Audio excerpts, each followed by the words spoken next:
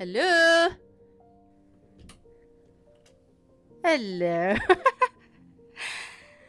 so, this is my husband's gaming slash. What do you call it? What do you call it? Cave. What? My cave. His little cave. And we're basically going to have a look at what he's got in here. And he has a little, well, it's not that little, but little compared to mine, manga collection. And he's gonna take us through it. Oh. And Suki's about to jump out the window. Yeah. So. don't know what's up. So show them your figures first. Yeah, sure. So some of these figures are quite old. So for example, like this Miku one is, I think, one of the first times I went to Japan, and it was the most expensive one that I could find, and I, it it just looked really good, so I got it. Um, that was probably my last purchase in Japan before I left. And, And then you got your Maki shrine. I got my Maki Shrine because uh, best gal, you know. and then a figure from Fates, and then obviously you see the Saitama and Haikyuu fig- and androids. These are apparently very rare, and I think the Haikyuu one is still sealed, unopened, as you can see, this- Officially from Japan. officially from Japan. And then we've got Sakura from Honkai, and then and Ta- Takamaki from Persona. And then this is what my wife got me a long time ago, and I still haven't opened it, which is the Persona 5 Royal Phantom Thieves Edition. Yeah, so that is my figure collection. Now we here. Yep, so these are just like random bits here. Obviously, Cause is more of a kind of like a street thing. Shout out to Hideo Kojima. I met him in Shoreditch when he was promoting his game. Death Stranding. It was Death Stranding, I think. I think it was literally just as it released. I was thinking PT, but it wasn't. And then Bayonetta got like this classic Final Fantasy OST very classic from the man himself. And then here are some random box sets I have. Orange, you probably saw in Lyddie's video. Got it for super cheap. Got this as a gift from a friend of mine. Silent Voice box set. It's um probably like what a couple years old now. I got it, and then got solo leveling here from the wifey as well, and then just just random bits here, camera gear and so on. Now onto my actual manga collection. So I don't know if I'm butchering this, but got uh, Vagabond. So Vagabond is basically like one of the first kind of mangas I read, and obviously Takehiko is an absolute influence to the whole industry and myself. And then moving on to Summertime Rendering. It's a shame that he hasn't continued it, right? 'Cause Yeah. It's still ongoing, isn't it? Uh, I On believe hiatus? I think it's on hiatus. Yeah. Yeah. It, it has been a long while since I read it, but yes, volume 12. And there, I believe there is like a volume like 12.5, but only in Japan, which is like two two volumes, I believe. I don't, I'm not sure, like two books basically. So Summertime Rendering, amazing story. I found it very unique. That's why I thought I had to like start collecting it. Really liked it. So, What's it about? what is it about? How can I even start? So basically, Time loop kind of yeah, it's basically like time loop where this island is essentially part of um how can I explain it? I don't Like infected by something. it's uh, kind of it's like yeah, kind of infected. It's, it has like some Supernatural. yeah, it has a supernatural element to it. Well, basically there's like this this goo stuff where They can turn into different I mean they're, they're ba- characters, right? well they're basically co- I think they're basically shadows, right? Mm. they're basically shadows where they can imitate uh, characters in there and there's like time loops and stuff i wouldn't i won't get into it because i'm going to butcher the actual story but i have finished it i loved it and i will read it again for sure Is, is it like a horror? is it like a Or horror Like a thriller? i would say it's more of a thriller than a horror yeah for sure Creepy. Quite creepy I read but the first volume and it was really creepy. yeah i definitely thought the anime for sure was a very good um yeah, very atmospheric. You know, the execution of the anime is really good as well, so definitely check that out. Um, all right, so moving on because it looks like your arms are struggling. Soul Eater is a, it's more of a childhood thing of mine. So this was like I read this, well, not read this. I watched this when it first came out. Yeah, I remember going to Central London and they had basically the DVDs of it, I think. And yeah, I basically binged it. Crazy crazy series. So I, and I saw this recently at the Leeds trip that we did, and yeah, had to go for it. Well, at least start on it. So next row is obviously the classic, you know, Jujutsu Kaisen. You know, everyone loves this stuff. Me personally, I think it's one of the best at the moment. I am that type of guy who takes things aesthetically first, story second, unfortunately. So when I saw Jujutsu Kaisen as an anime first, I fell in love with it instantly. Oh, it has all the formulas I like, uh, which is obviously city curses and lots of action. well, strong characters is fine, but what I will say is is that it also stemmed from I believe this anime that I used to watch back in the day called Tokyo Majin. It is quite old like even the episodes are like in still square format, so definitely check that out. You'll definitely see where the resemblance is. But I really like that show, and Jujutsu Kaisen definitely carried it. Right, moving on, we have Ayashimon. I'm not gonna lie, I have not read this yet, but I am looking forward to it. It looks great. Yeah, right. So I did like Hell's Paradise as well, so this looked promising if I can even put it in. But yeah, uh, moving on to No Guns Life. So No Guns Life and again, I I kind of looked at this as an aesthetic thing again. Cyberpunk, yeah. Yeah, I do love my cyberpunk as well, like kind of dystopian, kind of what's the word, like yeah, story Aesthetic. aesthetics and stuff. I love that stuff. So yeah, I really enjoyed it. It has a lot of action. The actual details of the characters and the scenes and stuff are absolutely insane. The covers are really nice. The covers are very nice, very um, clean and also very detailed. This one's really Yeah, cool. that one's the best one. And I have another volume 12, uh, so give a like and subscribe and you'll get a free one. so this is actually, so Lid actually started this collection of Hell's Paradise. You may have seen the previous videos, but I ended up inheriting it. Um, so I've been collecting this for a while, and then I was looking out for volume two for ages because that was the one that was holding me back from actually reading the series. So it took months and months. And then when it finally came back in stock, I actually had started watching the anime, and then I didn't really enjoy the anime that much. So it was kind of like I collected the whole thing, and I didn't really enjoy the anime. So, and then John here, he enjoyed the anime, so I was like, "Do you want my Hell's Paradise manga?" And he was like, "Oh, okay, why not?" So yeah, that's why he took it. Yep. So I will carry on the legacy of Hell's Paradise as a manga. You have to get volume two though. Yeah, I'll get volume two when I can. But yes, I enjoyed the series. Yes, it's a bit weird, but at the same time, it's. I think it had enough elements for it to be different than any other. Yeah, so basically, it's like. He's on death row. and like there's like loads of people on death row and they're like They go to an island to try to find the elixir of life for this emperor. Yeah. And he basically does it because if he gets the elixir of life for the emperor, he will be able to be set free and then he can go back to his wife. So I think that premise intrigued me, but oops, sorry. that premise intrigued me and I like the fact that, you know, he he loved his wife so much that he wants to go back to her. But yeah, I don't know if it was executed well in the anime, in my opinion. So I'm sure the manga does it a lot better. So I might end up reading it. That's why I never. That's why I didn't really give it away. I just put it in your collection. Yeah. So that one day, if I do feel like reading it, then I can. So yeah, that's why it's here. cool. So this middle section is a bit more like random stuff, but obviously you can tell it's like random art books and stuff, especially like references for like my design and like kind of like editorial stuff. Yeah, and obviously you got a little corner for Genshin Impact here. You know, I used to play a game a lot. The waifus. yep, all the waifus. But yeah, the most notable kind of like books, I guess, is this one. I think that Lid got me. Yeah, this is one of my favorites.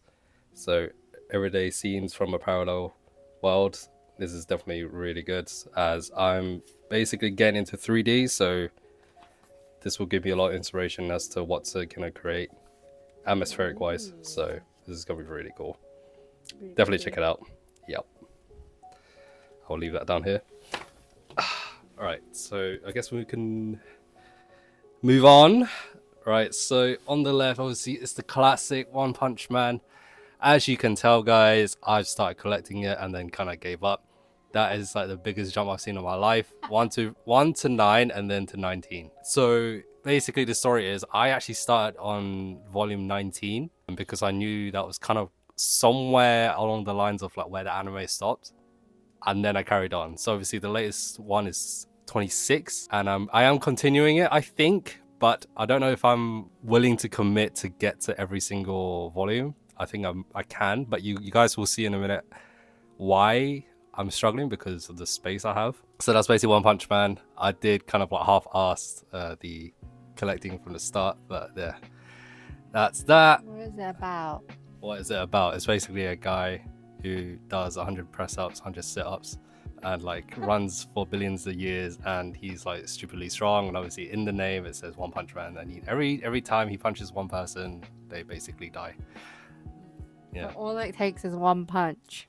basically and he's very unsatisfied. That's why his character design is actually kind of genius because it's very like troll.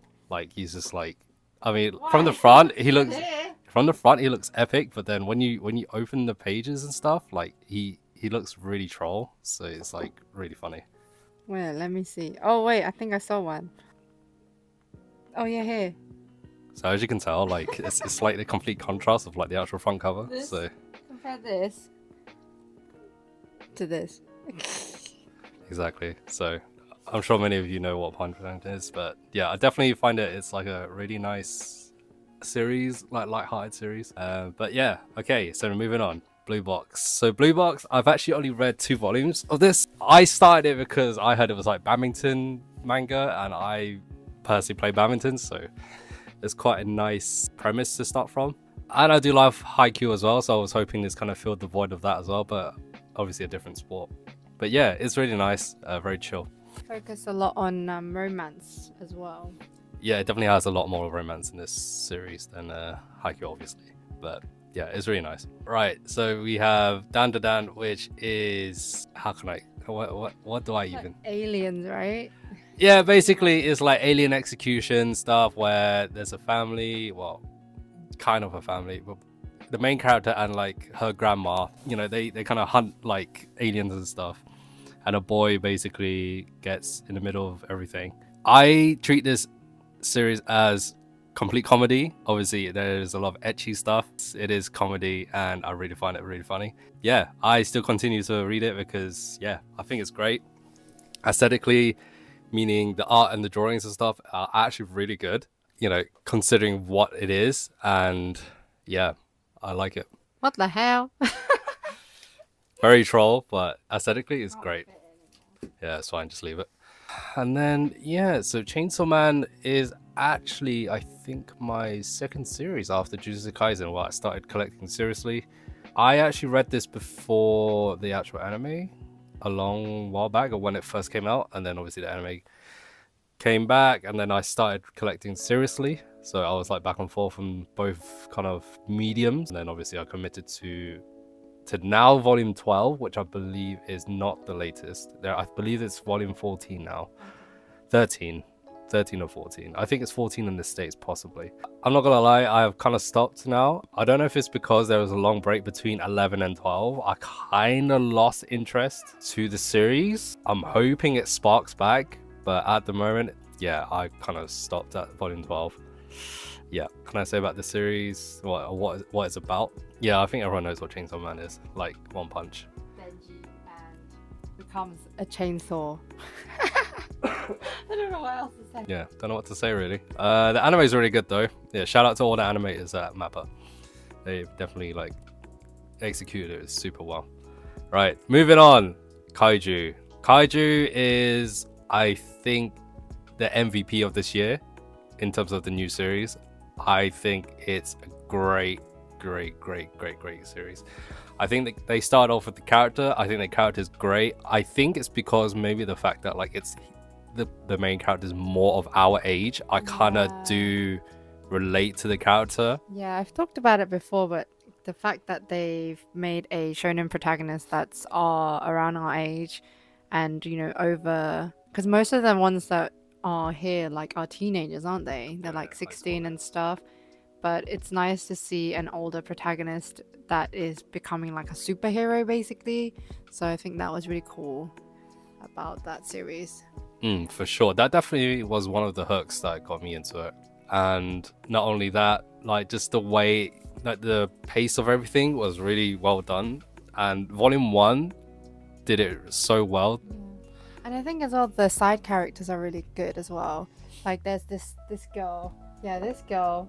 She is a little bit of a brat at first, but then she kind of develops a lot better because she thinks she's like, you know, what do you call it? Like very cocky at the mm, start. Like an elitist. Yeah, and then she's like, "Oh, I'm so good at everything. Like, I don't need help." But then she realizes that what she's been practicing and you know doing all her life is different to like real life situations, and then she kind of starts to grow and realize the importance of like having a team and you know being a unit.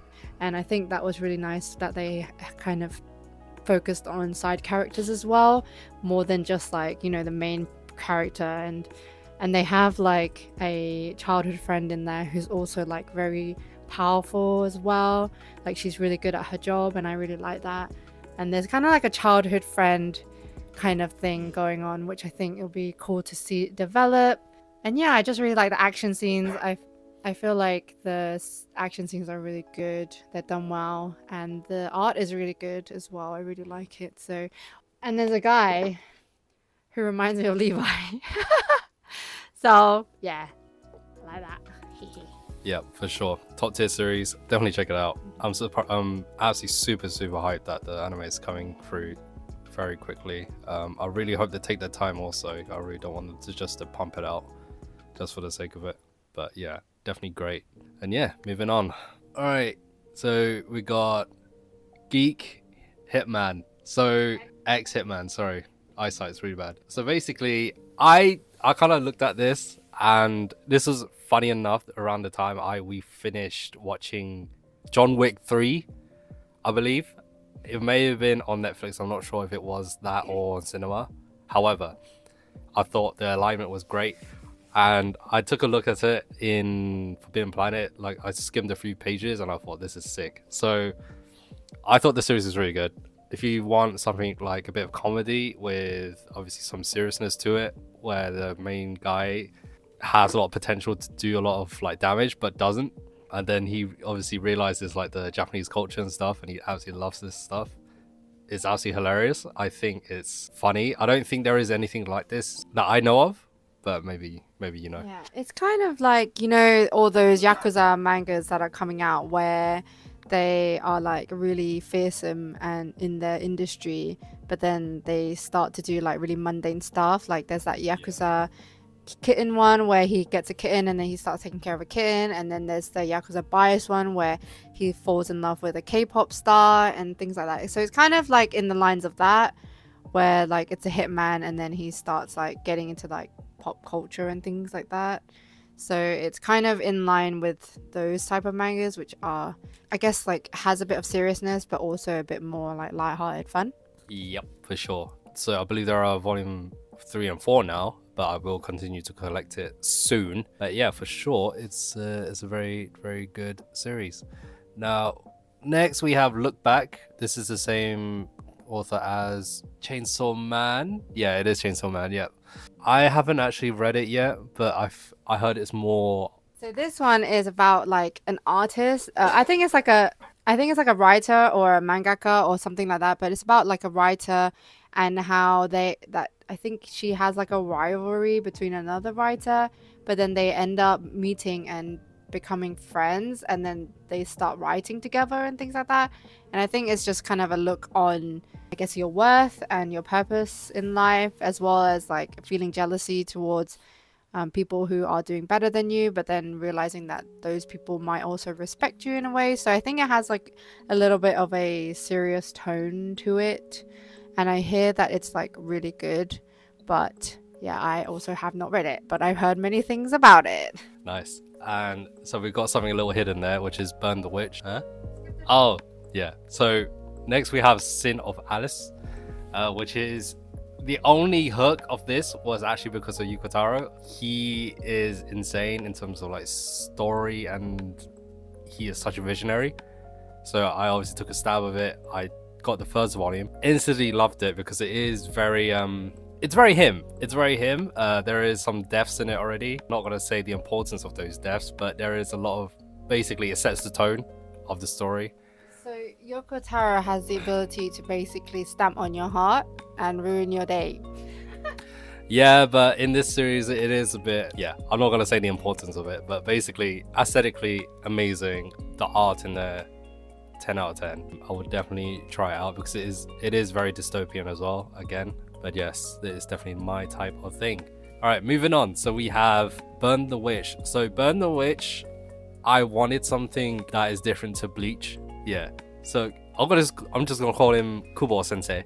So Kubo Sensei basically is, I think the first person who I really appreciate like the character design uh, designs and stuff around the time of Naruto, because I I really like the aesthetics of how he draws his stuff, like especially like the kind of like the city stuff, the characters, and so on. I really appreciate it, and I'm really glad he done like a spin-off of the stuff that he does. And I feel Burn the Witch is a a good series for that. Like it's very light. Um, I know there isn't a lot of content on it. The book sleeve is kind of cool. It's very very cool, very cool. The anime is quite nice to watch as well. All right, so next we have Zom 100. Zom 100 not going to lie, it was a very random pick. I wanted to read something that would basically was anything related to zombies, and this definitely hit the nail. This is a lot of comedy. Visually, it's different. Definitely appreciated the neon kind of colors in manga these days, and they pulled it off. With obviously, there's clearly some edgy stuff, but I really enjoyed it. I think it's something that if you want to wind down, you read that. It's actually really funny. So, very good series for that now moving on to Black Lagoon. So Black Lagoon, there is some history for me on that, which is I did watch the anime first, and back then we didn't have any access to like any types of mediums at the time, like DVDs or whatnot, or whatnot. But it was just when broadband was here and managed to have access to it, or at least the anime. I didn't read the manga. Really loved the series, and it has a lot of legacy, I believe in the industry, which I really want to appreciate and start collecting, but it's very hard to find. Yeah, it's kind of like a cult favorite, right? Yeah. A lot of people, it's kind of what people read back in the day when manga and anime weren't as mainstream, I guess. Yeah, yeah, for sure, for sure. So it, it's a personal favorite. So I'm doing it just for this uh, kind of like a tribute to, I guess, my childhood. I guess I wouldn't say childhood. I wasn't that young, but yeah, for sure. It's it's it's a good series, and this is a very beautiful collection, an incomplete collection, unfortunately, but yeah, Full Metal Alchemist is great. I think it's amazing. I was so glad when Viz started doing these hardcovers because they're absolutely freaking beautiful. I'm not going to lie. It, it is more of a personal kind of sentiment to collect these because I know for a fact that you know, with things or digital and stuff, I do want to put importance of my sort of tangible things, and this is definitely one of those things where I just want to start collecting it just for the sake of. And you know, who knows? Maybe in my creative career, I might even refer back to these as references. So, for sure, it's good to have. Great story. I really think it's like one of those things where you know when people ask if if you want to introduce anime or manga to some people, I would definitely like recommend Full Metal Alchemist for sure. It has comedy, fighting scenes, sad moments, character development is crazy. All of the characters are insane. They're not really side characters. They all have its own importance in the story. Yeah, I think it's a well-rounded series for sure. Anime. You gotta talk about the anime. Well, the anime. Well, the anime I would hi- highly recommend Brotherhood. Some people say otherwise, but if you want to listen to my opinion, definitely go for Brotherhood um, for sure. So yeah, I think that was everything in my husband's manga collection. Obviously, it's still growing and expanding depending on, as you can see, he doesn't really have that as much space as I do for manga. So yeah, that was his room tour-ish. Well, kind of. This is all his place to nerd out. And you know, he's got some keyboards there as well. But yeah, so this is kind of why there's a lot of series on here that I don't have on my shelves, such as like the big three, I guess, and like Jujutsu Kaisen. Was it the Dark Three? Jujutsu Kaisen, Hell's Paradise, and Chainsaw Man is like the Dark Three. A lot of people um, wondering why I might not have those on my collection is because my husband collects them, so I don't need to, which is great. But yeah, so this is his collection. Thank you so much for showing us around. You want to say to add the comments? You're absolutely welcome. Yeah, shout outs to Lid for inviting me to your video. and um, yeah, definitely keep watching Frieren. That's it. All right, guys. Hope you enjoyed this short. Well, it might not be that short, but hope you enjoyed this small room slash manga collection video. Thanks to John for showing us around. And yeah, definitely leave some questions down below if you have any and talk about any series that you saw here that you're interested in. And I will see you in my next video. Bye. Bye.